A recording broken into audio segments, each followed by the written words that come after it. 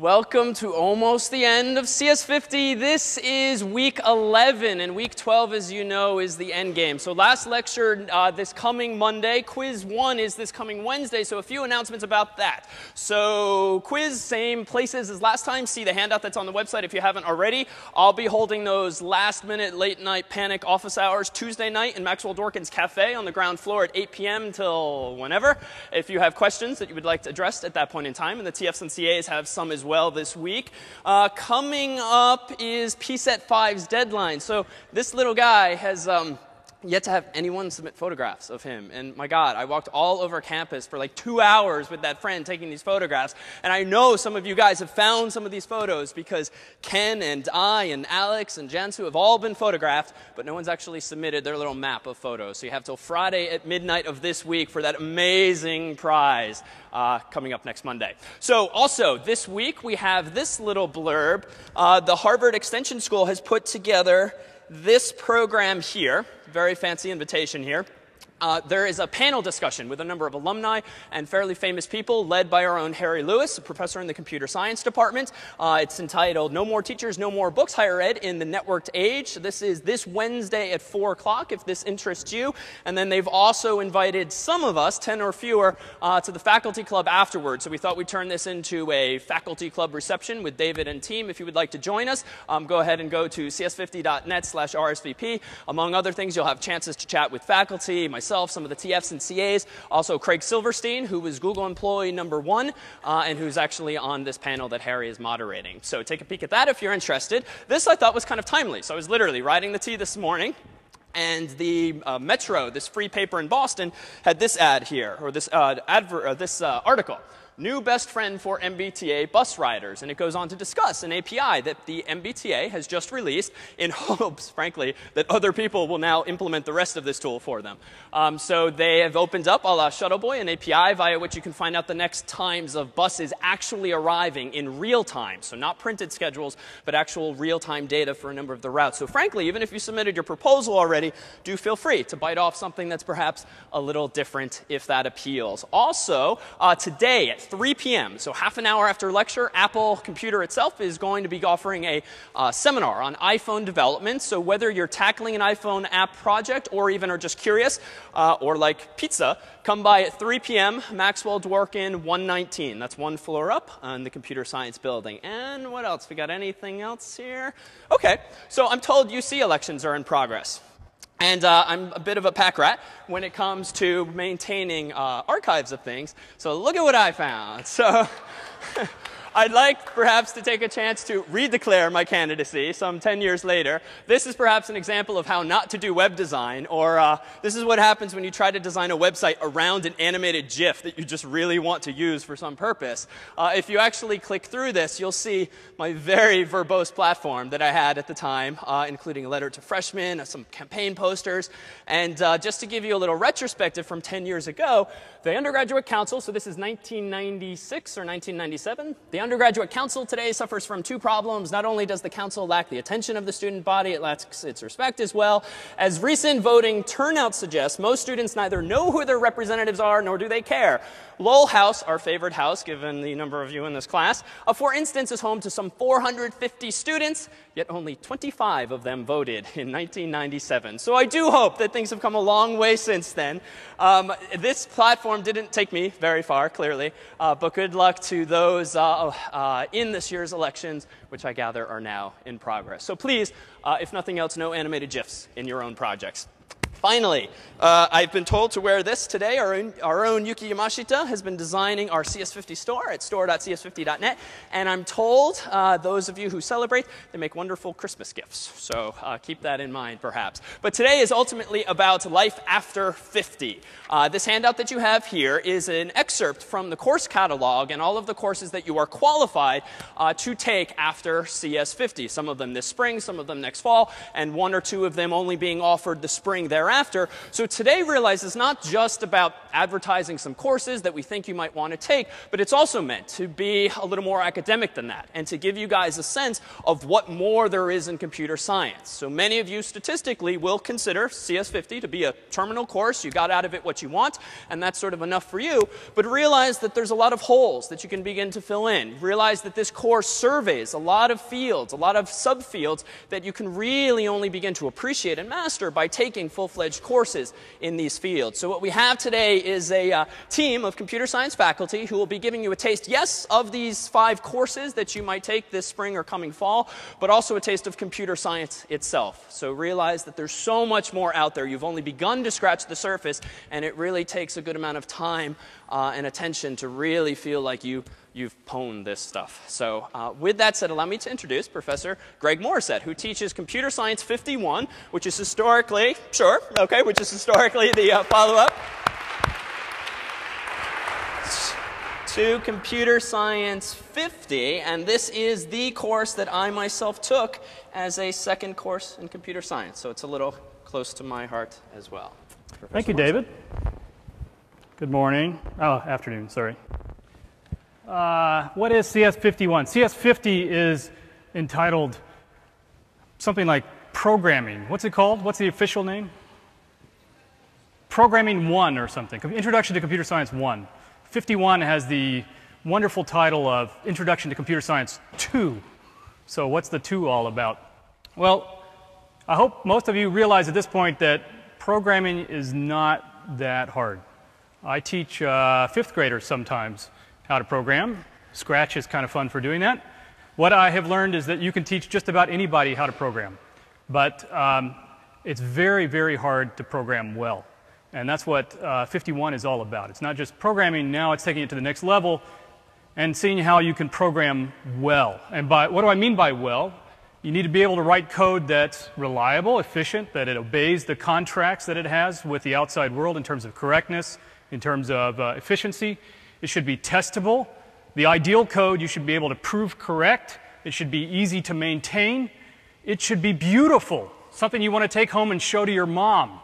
All right, really good code is elegant. And that's what 51 is about. The other part of 51 is that it's supposed to expand your problem solving skills by making it possible to quickly and easily recognize the right tool for the job. So uh, the right tool might be uh, a data structure or algorithm. It may be a conceptual way to think or frame the problem or to break it up into more easily solved subproblems. It may even be a programming language. And the prime directive of CS51 is at all costs to be as lazy as possible. All right, a really good programmer is so lazy they will go out of their way to write code to make it possible to not write code in the future.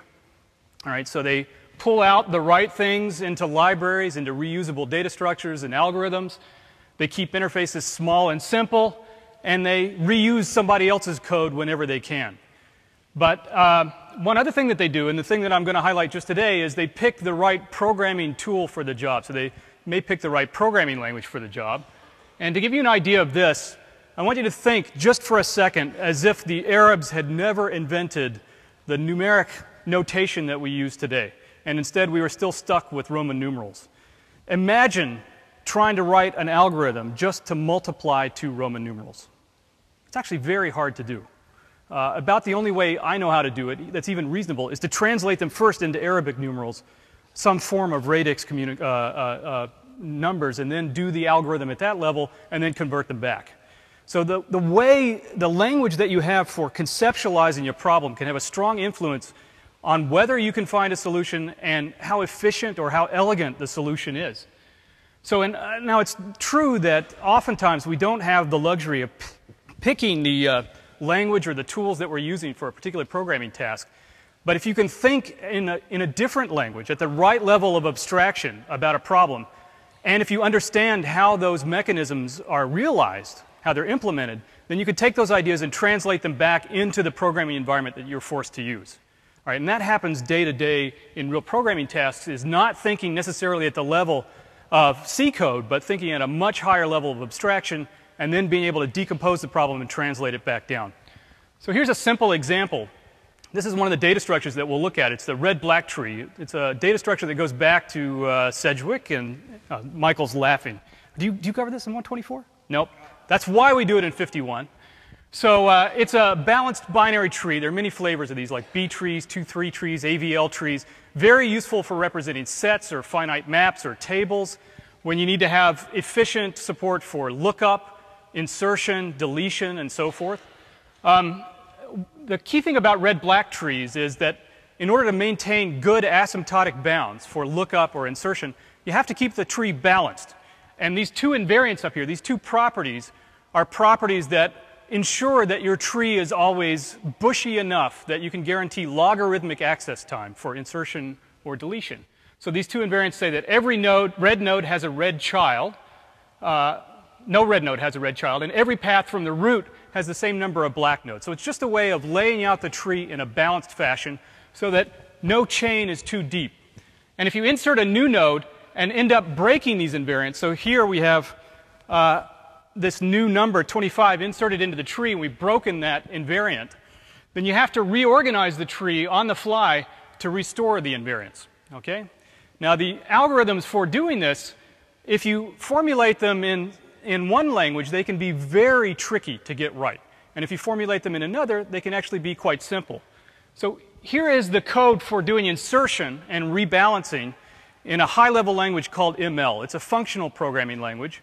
It's one of the languages that we'll be looking at. And it provides certain features, such as pattern matching on algebraic data types, that makes writing this code a, essentially a one-pager or a one slide. If you look at a your favorite algorithms textbook, for example, Sedgewick has an algorithms textbook, and you look at the code for doing this in C, it's four times the size of that code up there. Here's the code for doing insertion, except I ran out of room and actually have to double the amount of code down here and repeat it except swap red and black. And also I didn't show you the subroutines tree insert, left rotate, and right rotate. This is what left rotate looks like. Uh, and right rotate is just like it, except you sort of flip things around and make. Uh, uh, so, so the point is that actually staring at this code and deciding whether you got it right and whether you're respecting those two properties can be very hard to do. And if you test the code, you may find out that in your particular test cases, it seems to pass all the tests. But if, you, if you've got a really tricky problem, you'd like to have more than just testing as your form of assurance. You might like to go back and formally prove that your code respects these properties that I mentioned. Proving that the, your algorithm is correct is pretty easy on one page of code. It's certainly a lot easier than doing it on four pages of low-level code. This code also has other advantages. It's safe with respect to exceptions and multi-threading, whereas the C code is not. All right? And how do you get those properties? Part of that is because the language is forcing you into a certain discipline that gives you those properties for free. On the other hand, this code is doing functional updates to a data structure, whereas the C code is doing imperative updates. And how do you efficiently translate a high-level language like this down into something like C code? That's something that we're going to be looking at in 51. And the, the goal in this class is to give you an understanding not just of one programming language, but of a bunch of linguistic abstractions that you're going to run into over and over again, although usually they'll have different names. Like Microsoft will give it some name, and Google will give it a different name. And you want to be able to recognize these abstractions and apply them wherever you are. You may be operating in an OO language and you need the concept of a closure. How can you represent closures as objects? How can you represent objects as closures? These are some of the ideas that we'll be talking about and some of the linguistic mechanisms like laziness that we'll be using in the class. We're also going to be seeing some exposure to software engineering techniques. I call these software engineering in the small. So instead of training you how to code 50 million lines of code, uh, uh, which is basically something nobody knows how to do well, witness Microsoft, uh, we're going to be talking about at least little things that you can do to make your code more readable, more testable, more maintainable. Um, so simple things like modular design and how do you use language mechanisms to get modularity how do, you, how do you do integration and unit tests? And how do you read somebody's code in a critical way? How do you do code reviews? We're also going to be looking at abstract models of computation beyond simple programming languages. So we'll be looking at, for example, space models for space and time, and this is a good uh, prelude into 124, which Michael will tell you about. And we'll be talking about models for reasoning about code at a high level of abstraction, like a substitution model of evaluation. Uh, we'll also be talking about how to prove properties of code, like how do you prove the correctness or how do you prove the asymptotic efficiency of your code in a very rigorous and formal mathematical way. Okay, so that's really all I have to say about 51. I'll be around uh, the whole time, though, in case you have any questions. Let me now hand uh, the mic over to Matt Welsh, who's another professor in computer science, and he'll be telling you about CS61. If there are any questions while he's coming up here, I'll be happy to yield. No? Good? Thanks. How do I pull this up? I'm assuming there's. Uh... Hi, everybody. I'm going to do the rest of this in Latin because we are standing with these esteemed gentlemen on the left and on the right. Um, uh, so I, what I want to do is talk to you a little bit about CS61. CS61 and CS51 are like uh, two sides of the same coin. They're both intended to be classes that are taken uh, right after taking CS50. Um, in fact, a lot of freshmen are also taking CS61 this semester. And um, CS61 is an introduction to computer systems and how computers work internally. Um, uh, so the basics of the class we meet on Tuesdays and Thursdays uh, at 2.30. Um, the prerequisite is this class or just any C programming experience. Um, you can, in fact, use CS61 for the co CS concentration breadth requirement, that is to satisfy the need to have several classes with different middle digits. Um, you can also use it for the CS secondary. And um, we generally say that most students who have an interest in CS, whether you're going to be a concentrator or just do the secondary, should take both CS51 and CS61 because they, they really complement each other nicely. So what's CS61 all about? Really, this class is about understanding the guts of how computers work, uh, getting under the hood and really driving down on the things that matter uh, to you as a programmer in terms of the performance of the code that you write. So um, uh, what we try to do is understand how a processor works internally, and then how do you write good C code that can map well onto what the processor knows how to do. This is extremely important in real world because in the real world you're going to be expected to be write programs that perform well and that are, of course, also correct. Um, we'll talk a lot about caching and memory management. That is how to lay out the data structures in your program so that they get the best performance on the processor and the memory architecture of the machine that you're using. Um, we'll talk a lot about uh, concurrency. So every, every computer that you can buy today basically has multiple processors, multiple cores on the same processor chip. And in order to make use of those, you generally need to write programs that can do multiple things simultaneously. Threading and processes are two uh, straightforward ways of accomplishing that. But writing this kind of code is very complicated because the threads have to interact with each other. So this is one of these things that you need to understand how to do. And, you know, just generally how to write rock solid and fast systems code. So CS61 one is extremely practical if you want to improve your programming skills.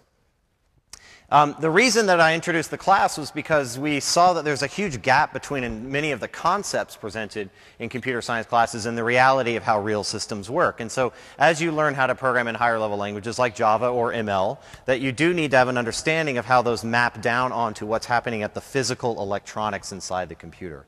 That's really critical for performance. So you need to understand operating systems. You need to know these details to understand things like operating systems, databases, compilers, and so forth. Um, let me tell you a story that I think motivates the need for a class like CS61. And I think, how many of you have heard of um, this case of Ken Thompson, who is one of the co-inventors of Unix and C, hacking the original Unix system? Has anybody heard this story before? This is, this is a fascinating lesson in uh, why not to trust uh, the code that you're running. Okay, so Ken Thompson, he co-invented the Unix operating system. Uh, he won the Turing Award, which is the uh, computer science community's equivalent of the Nobel Prize. The Turing Award is awarded once a year to an eminent computer scientist, and it's a really, really big deal to win the Turing Award. Um, but, and, and as part of winning the Turing Award, uh, the, the, uh, the winner is asked to give a lecture on their work. And during his Turing Award lecture, Thompson made this admission he basically reminded people back in the early days of the Unix system, he wanted to be able to log in to any Unix computer that was installed without having to have a, an account. So what he did was he hacked the login program and added a backdoor. Yeah? So he added a special password that only he knew that if you tried to log in with a password, then it would let him in. Yeah? okay? And um, uh, that was really great for debugging. Yes, he wasn't trying to do anything malicious with it, but he wanted to understand what was going on inside. The problem was that everybody had the source code. Back in those days, everything was open source. So if somebody happened to look at the code for login, they would notice that there's this backdoor in the code. And he didn't, he, would, he didn't want people to know about this. He wanted to cover his tracks, right? So what he did was he hacked the C compiler and the C compiler then understood when it was compiling login.c to add the code for the backdoor to it before compiling. Does everybody see what's going on here? Yeah? So if you looked at login.c itself, you would not see the backdoor code. Right. All right. So um, what's the problem? This, this works, right? So if you look at for login.c, you won't see the backdoor. But there's somewhere else you could look that you notice where the backdoor is. Where is it? In the C compiler code itself. Remember, the source code for everything, including the C compiler, was just sitting right there on every Unix system. So you could just look at the source for the C compiler. So here's what he did. He hacked the C compiler to recognize when it was compiling itself to add the code to add the code to login.c for the backdoor. Yeah? This is a true story. I'm not making this up. And so then he deleted that version of the C compiler. So now we have a C compiler in binary form only that would always, every time it compiled itself, would inject this additional backdoor code into the new version of the C compiler, which would then inject the backdoor code into login. Okay, so um, this is amazing. This is just so cool, right? It's just extremely nefarious. And the only way that you would have been able to understand that this was happening is if you were able to look at the machine code for either the C compiler or for the login program and notice that there's this backdoor there, right? It was never present in source code form. So there's no source code that represents the backdoor anymore. This is an interesting problem. So in CS61, one of the key skills you're going to gain is being able to read machine code and understand what the machine code is doing. Um, so what we're going to do in CS61, learn how machines really work. You're going to really be, be an expert at using things like GDB. We're going to debug the hardest and the most interesting bugs. We're going to drive down to the machine code level in order to do that. Hacking binaries for fun and profit. Um, one of the labs in this class, I'm going to give you a broken uh, uh, binary and you're going to exploit a buffer overrun bug in that binary and cause that binary to do things it was not designed to do. This is basically the gist of how the most viruses and worms propagate. Um, you're going to measure and improve the performance of your programs. We're going to be very focused on getting good performance. And you're going to write multi, multi-threaded concurrent programs like a professional. So you're really going to understand how to exploit all those uh, extra cycles and cores on your machines. So this sounds like it's a lot, it's hard, but I, I want to emphasize this is an introductory class. All of you can take CS61 and be successful in it. And so it's challenging, but it's a lot of fun. This is not intended just for hardcore CS concentrators. Um, we'll have five lab assignments. Um, the first one, I give you a binary, and it asks you for a series of seven passwords. You have to get all seven passwords right. I don't give you the source code. So how do you figure out what the passwords are? You have to disassemble the binary, read the machine instructions, and understand what it's trying to, trying to ask you for. Okay, this is a lot of fun, and it's quite addictive. Um, you'll do this buffer overrun bug. You'll implement your own version of malloc. I promise after doing this, you will understand how pointers work. Um, you'll write your own Unix shell, and you're going to build your own concurrent multi-threaded internet service. So uh, there'll be one midterm exam and one final. So that's basically what the whole course is. Um, I'm going to skip over this. You can go look on the website to look at the syllabus. And I just want to leave you with this. So this is my favorite way of representing what CS61 is. How many of you know what this is from? This is from the Matrix, yes? So this is how I think of it, which is CS61 is the red pill. Yeah, if you take CS61, you're going to understand what's going on at all these lower levels of what's really happening inside the system. So I encourage you to take, take CS61, and I will show you how deep the rabbit hole goes. Thanks.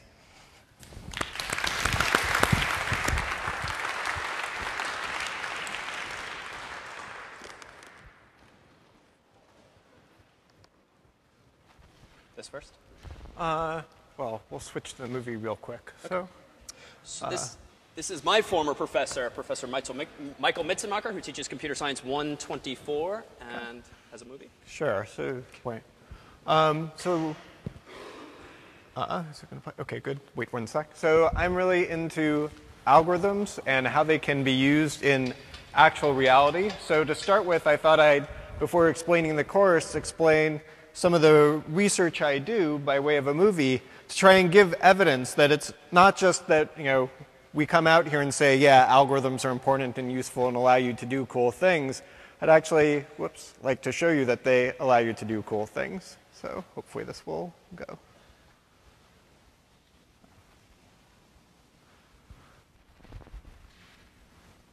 In a perfect hash table, we can look up any item in constant time. We construct perfect hash tables on the GPU using a hybrid of two randomized constructions. A thread is assigned to each item. First, it reads the randomly chosen top-level hash function and uses it to choose a bucket to hash to. The item then increments a counter for its bucket using an atomic add operation. We prefix sum the array of final counts, at which point we know a base and an offset for each item. We allocate memory, and then each item writes itself to the location defined by its base plus offset. Within a bucket, we organize the items using cuckoo hashing. The table is broken up into three subtables, each with its own hash function. Items that cannot fit into the first table proceed to the second one, and items that cannot fit into the second table proceed to the third. An item that fails to fit into the third table, like H, goes back to the first table and evicts the item currently in the location that it wants. The eviction process continues until all items have found a spot. Each bucket is processed within a block. We write out the cuckoo hash tables with all the first tables together, then all the second, and then all the third tables. This allows more coalesced access for parallel lookups. Hash tables are useful for representing voxelized surface data. Only the surface voxels are stored in the hash table, greatly reducing the storage requirements. This is called spatial hashing. Here, we are using spatial hashing to find the intersection of two moving surfaces. At every frame, we read a point cloud for each surface and construct a hash table for the voxels containing the points. We find the green intersections by looking up the voxels of one surface in the table of the other we use the hash tables to flood fill along the surface to find the blue region inside the other object. Here, we compute a Boolean difference, subtracting one running man from the other. The user can move the men around interactively. We achieve a frame rate of about 27 frames per second using a virtual voxel grid of size 128 cubed with surfaces of roughly 160,000 points.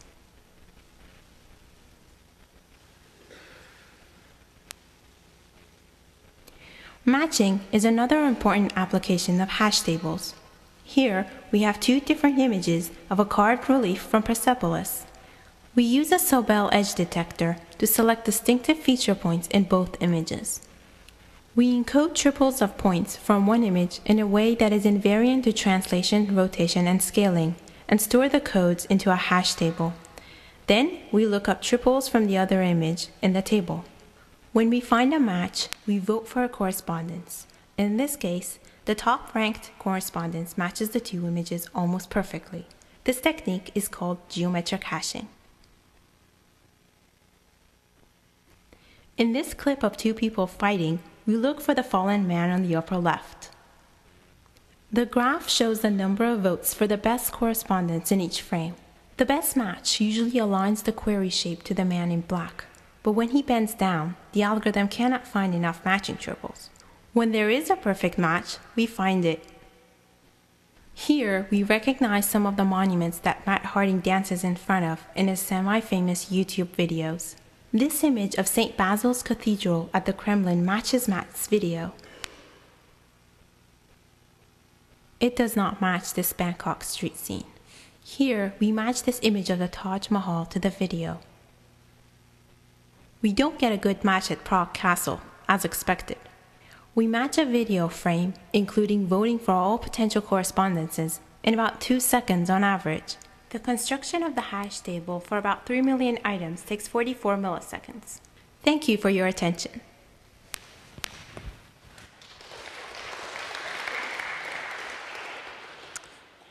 All right, so I'm not promising that the end of 124 you'll be able to do that necessarily, but I am promising that you'll get a lot of the skills that you will need to go forward into your further classes where you will be able to take algorithms and data structures and find cool things to do with them. I view CS 124 as putting the real science in computer science, that it's going to give you the tools you need to do a lot of really interesting things all the way rest down the line.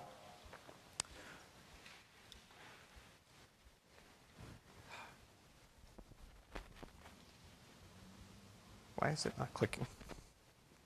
There, okay.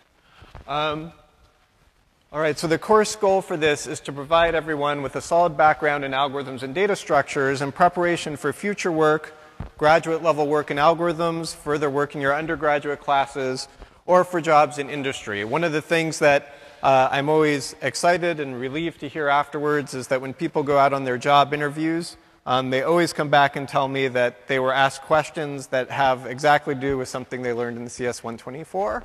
You know, this is the sort of skills people are looking for when they're looking for a job, not just that you know how to program, but that you know how to think about problems, that you know the ways to attack problems, that you know the sort of tricks and techniques that can be used to solve problems to get working code solutions. And so the key course goal is to actually get you ready, uh, whether this means you're going on in your studies or going on in the work world. Um, so the class setup, I welcome people from all different areas. You know, certainly uh, the bulk of people tend to be computer science and applied math concentrations, but we also get people every year from biology, physics, economics, mathematics, and other areas because more and more, as other fields are doing more and more computing, the people in those fields are finding that they need to understand algorithms and how they work. Um, the assignments in the class, because I do believe in you know, algorithm practice and not just algorithm theory, they tend to be a mix. There's certainly going to be plenty of theoretical and mathematical work, um, but we're also going to have programming assignments. My joke is I find that this maximizes uh, the feelings of unhappiness. The mathematicians are unhappy because they have to program, and the non mathematicians are unhappy because they have to do math. But it really is the best way to get both ends to understand not just how algorithms, to think about them abstract, abstractly, but also how to implement them and how, what the tangible gains they can actually get you on real problems. So this class, CS50, is the minimum prerequisite, um, but I should point out certainly 51 and 61, 121, and strong math backgrounds are all helpful, um, but not at all required.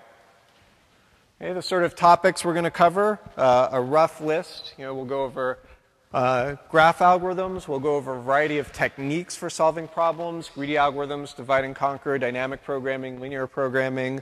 We'll look at things like hashing, something which you just saw a video on, some advanced hashing techniques, uh, and randomness, how to use randomness in algorithms, how to understand how randomness can help you in algorithms.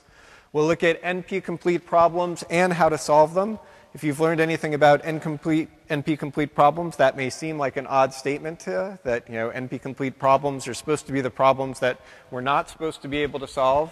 Um, but of course, in the real world, you can't just go to your boss and say, well, this problem's NP-complete, so I don't have to do it anymore. You know, they're going to expect a solution, so we'll come up with ways and techniques and thinking that will let you solve them for practical situations. Uh, currently scheduled, if I read the the book right, Tuesday, Thursday, 11:30 to 1. You know, I hope you'll consider it for this spring. If not, I'll hope you'll consider it for your next spring. Um, offer it every year, and I hope to see you there. Thanks.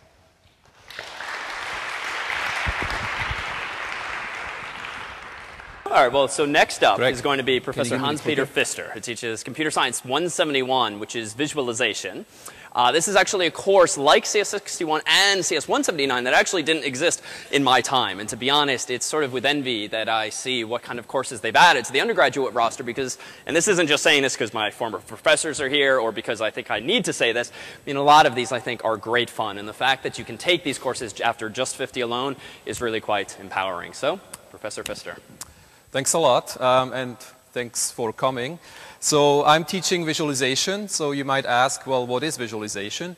Visualization is essential to convey information through visual representations. So we're talking about graphs, charts, maps, and all kinds of fancy ways to visually depict information. And in particular, this class will focus on interactive applications of visualization, where you can actually interact with any of these in an interactive way. So uh, if the previous courses were more about the science of computer science, This class is much more about the design and computer science. So it's a combination of both design and computer science. And as a matter of fact, only about a third of the students in this class are CS concentrators. So this is really a class that should appeal to pretty much everybody because I believe everybody is dealing with information. Now, why is this class important? Um, I think actually visualization is one of the big topics that we currently have to deal with. It's because we're living in the age of information explosion. So we have too much information online. We can't really make sense of it all in just text form. And so we need some other representations in order to understand it all. This is even more so in the sciences where people have coined the phrase the industrial revolution of data. So we're now able to collect data at a much faster rate than what we're able to process or comprehend. And that's because we have all these great sensors from the very small to the very large that provide us with more and more data. So in order to understand all of this, we need some means to, uh, to basically look at the data, and this is probably the worst possible way to do that.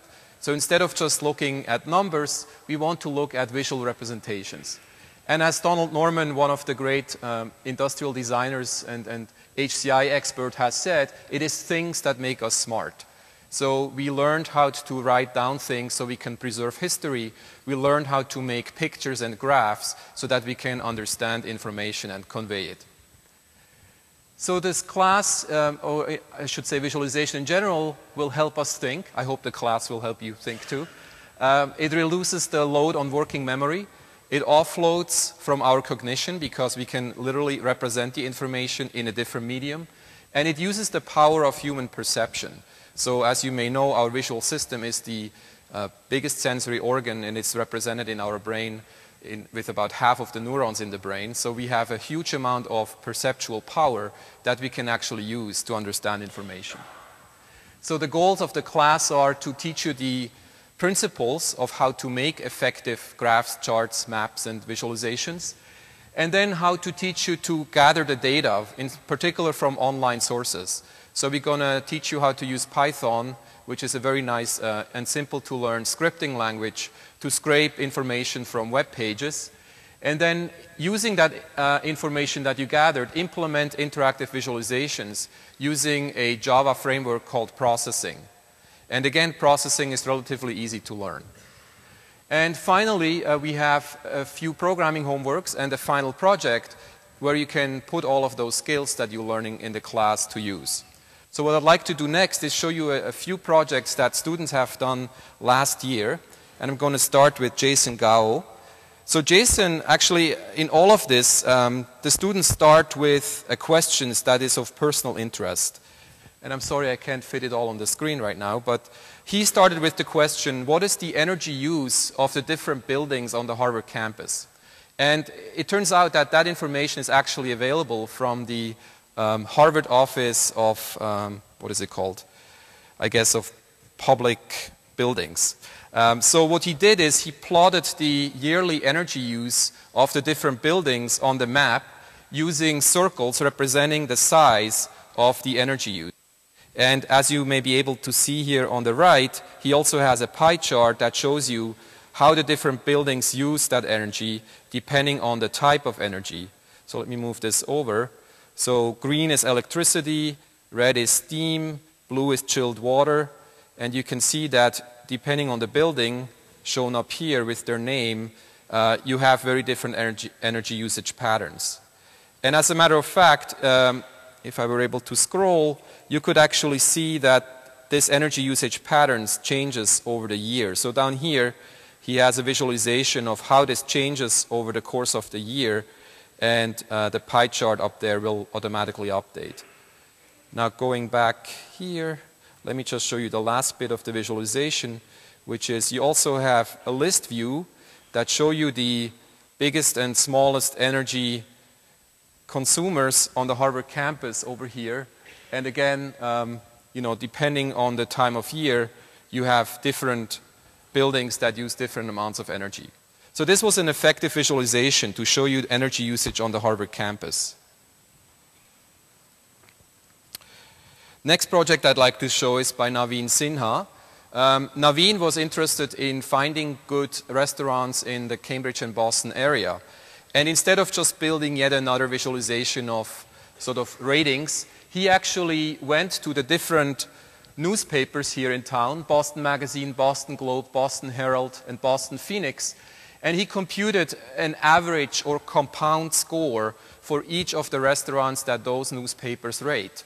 And then what he's showing here is the deviation from this average score between the different newspapers. So uh, let's quickly look at that.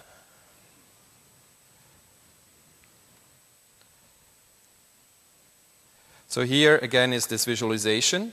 Let's first turn off the filter here. Um, you can actually see the name of the restaurant here. So number one is Oya, followed by L'Espalier, followed by number nine, followed by Uni, and so on. So for those of you who like to eat well, uh, you probably recognize some of these names. So the restaurants are ordered from right to left, the top ranked restaurant on the average rating being on the rightmost side.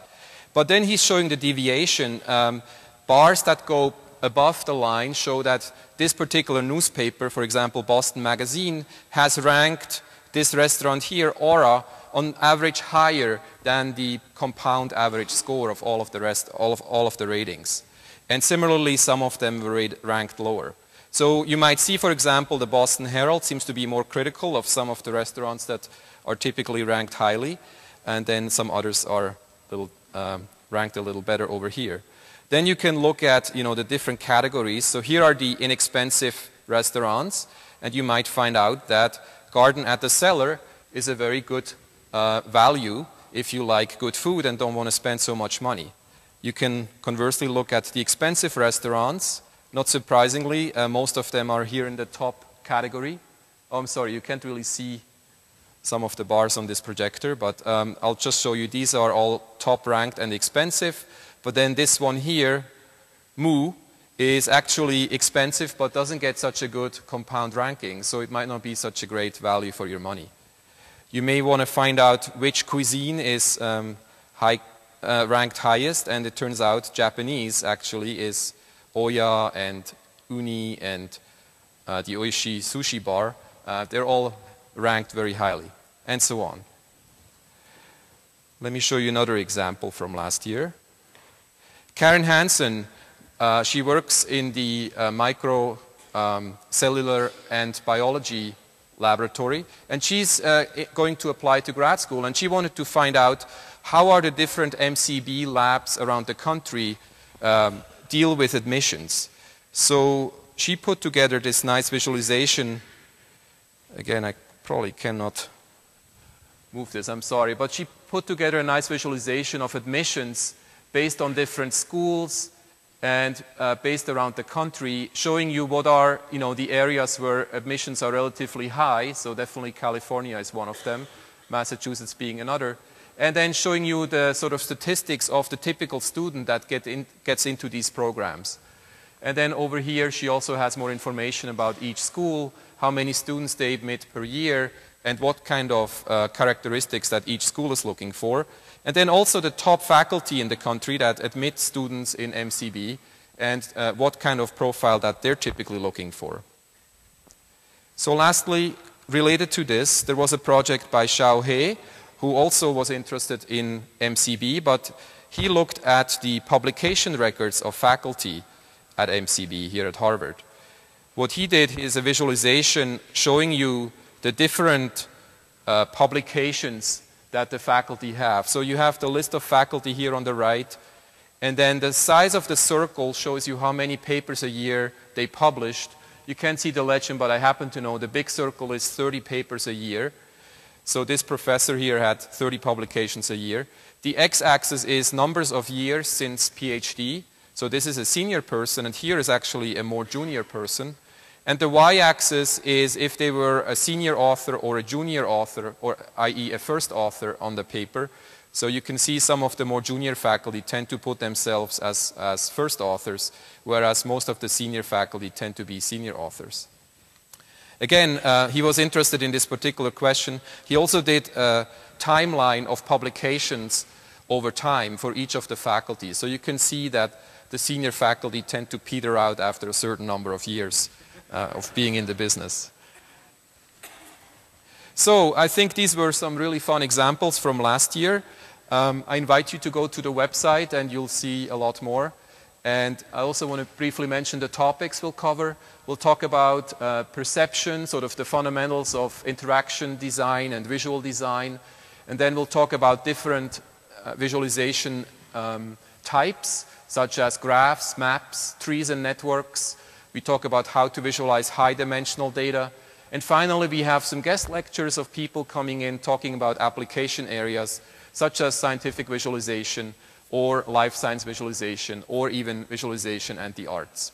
So I hope to see you all uh, during shopping period, and uh, thanks a lot.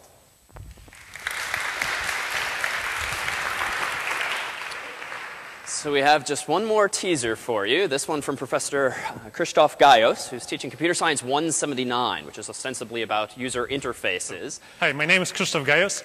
Uh, how many of you here are first years at Harvard? Well, so am I. Um, I'm very excited to be here. I think what makes Harvard Computer Science incredibly exciting is not only the computer scientists, but everybody else at Harvard. It's the fact that Harvard focuses not only on the bits, but also on the rest of the world. We are here to make an impact. Um, uh, Greg, Matt, and Michael told you a lot about how you can solve problems and the skills that you need for solving problems. And I think this is actually an extremely important for, for computer science. In fact, let me start uh, with a story from my own undergraduate experience. My first research opportunity uh, down at the technical college, you know, a little bit down the river, uh, was with an information retrieval group. David Karger was incredibly interested in web search. It was the time of Alta Vista, web crawler, meta crawler. And each week he would start the, the meeting by bringing up one of those new uh, search engines because they tended to pop up roughly once a week. Uh, he would test it always in the same way. He would type in his name and see what came up. And inevitably, the first thing that would come up in those engines would be a, uh, a, a, publications database that you know, listed his name more than once, or another website that mentioned him, but it was never his homepage. And one day, I knew that things have changed. He looked different. There was suspense in the classroom he was going to tell us something very special. He brought up a search engine, a brand new search engine, type in his name, and out came his name. What was that search engine? No, it was not Alta Vista, it was Google. What was special about Google? What made Google special? It was the fact that there was a very important problem, search problem, that has existed, that has been around for many years. There were lots of people working on it. And Google guys figured out how to solve that problem well.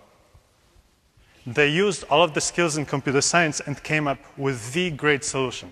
They started with a well-defined problem and they came up with a great solution and that made them great. But I argue that besides being incredibly smart, Larry and Sergey were also incredibly lucky.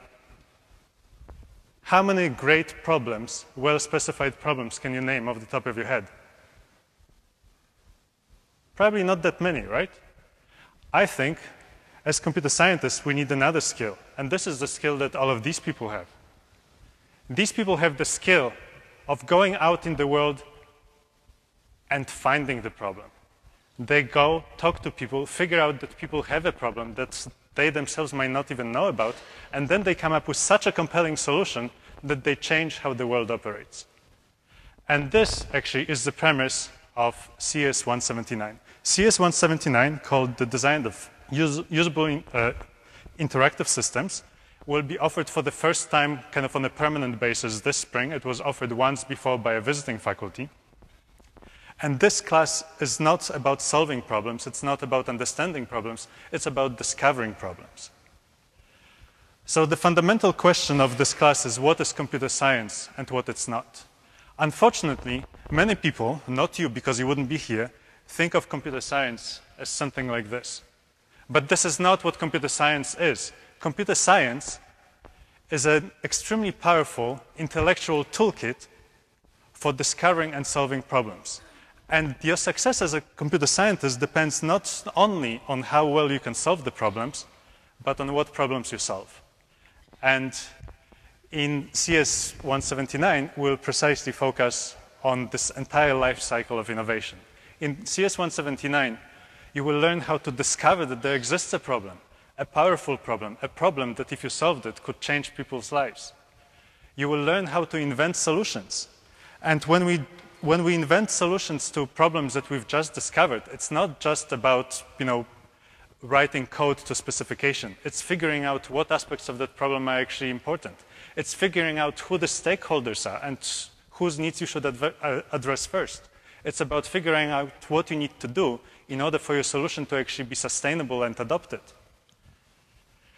An, an extremely important skill that you will learn in CS 179 is that you are not an average person, which is actually a terrible handicap because it means that you have no idea what normal people think. When we design solutions, we design for different people. We design for people who love control. We, like, we design solutions for people who like to tweak. But this is not what other people like to do. And we'll actually learn about our own biases and what makes and how we can overcome them. We'll also learn how to formally and informally evaluate uh, our ideas. Um, and actually, a big part of the, of the class is going to be uh, critique sessions. Once a week, we're going to meet in small groups, present uh, our contributions for that week, and other students in, in that small group will actually present formative critiques of whatever progress you and your group made to help you improve your system.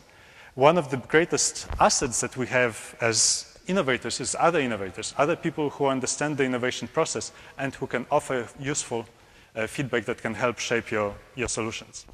And finally, this class will be about teamwork. All of the projects will be done in teams of three, uh, and the projects will last most of the semester with uh, a couple of short breaks. Uh, so on the practical side, the main prerequisite for this class is CS50 or any kind of programming experience. We will be using uh, uh, the, the, specific programming skills that you will need for, to be successful in this class, we'll actually cover in the class. All you need to know is how to think like a programmer. Lectures will be twice a week. We'll have critique sessions and we'll have regular uh, weekly assignments. There may be final exam. I haven't decided yet. An exciting thing is Apple has uh, offered to lend us uh, iPod Touches. Every team of three will have their own iPod Touch, and iPod Touch web development will be the platform uh, that we'll use for innovating in this class. Any questions? Okay.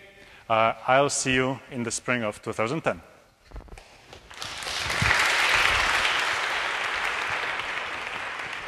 So I thought I'd leave you guys with one thought. So truth be told, I think there's something very empowering about studying computer science. And I say this having defected from Gov long ago. I mean, I can think of innumerable experiences just in the real world where this background I had, not just in 50, but in networking courses and in theory courses, where I actually realized very quickly, I understand better what this person I'm talking to is actually talking about. So case in point, Comcast is my, was for years my cable modem provider. And every night around like 9 p.m., I would just lose internet connectivity altogether. And this happened again and again and again. And I talked to so many damn representatives on the phone about this pattern. And of course, the irony there being such a big company, well, sir, we can send someone out between 9 a.m. and 5 p.m. every day. But I'm like, but it only happens after 5 p.m. And so I hypothesized for them on the phone, you know, maybe this has to do with some real world usage patterns, right? A lot of my neighbors come home around 7 p.m., 8 p.m. Perhaps this is putting more of a load on your equipment. No, no, no, no. It looks fine right now, sir, at, you know, 9 a.m. in the morning.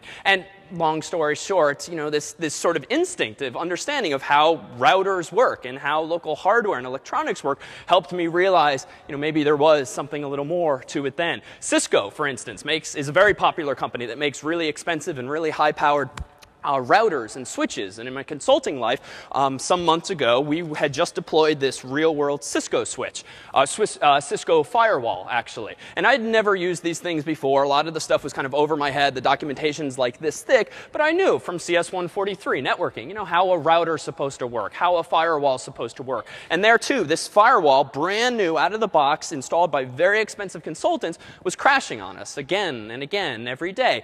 And frankly, I whipped out my CS50 skills skills uh, SSH'd into this thing, because it's really just a Unix computer that's running, and found all of these core files, which I didn't really understand, but I knew from my time 10 years ago weren't necessarily a good thing. And sure enough, the firmware, the software running on this Cisco very expensive switch was just buggy. Cisco had screwed up, and the thing was seg faulting once a night around a particular time. But it was these instincts of being able to solve these problems myself and being able to identify problems, as Krzysztof has mentioned there, in the real world. Like, wow, wouldn't it be great if we had this Twitter aggregator? Why? Eh, not because it's terribly useful, but because we can. And that's the sense of empowerment that I got from all of these computer science courses I got. And whether you're considering majoring or minoring or just dabbling in computer science, hopefully you gathered from the faculty who joined us today that there's many different directions in which you guys can go after this. Uh, so I hope you will join us next semester uh, on Wednesday for quiz one and also on Monday for our final class. See you on Wednesday.